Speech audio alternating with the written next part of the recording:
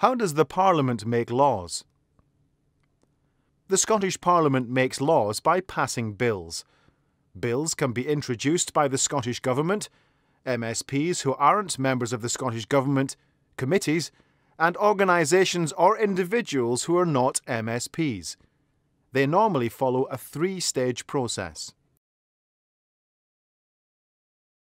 Stage 1 Parliamentary committees consider the general principles, the overall purpose of the bill, and normally ask members of the public for their input.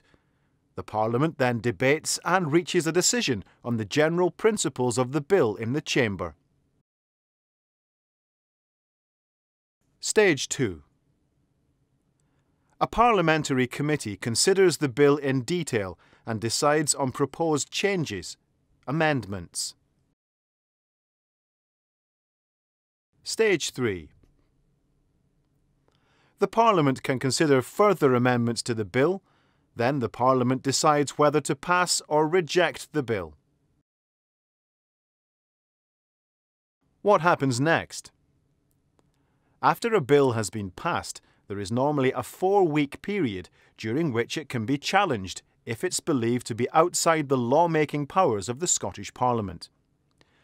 If it is not challenged, it will be submitted for royal assent from the monarch. Once a bill has received royal assent, it becomes an act of the Scottish Parliament. However, it may not all come into force straight away.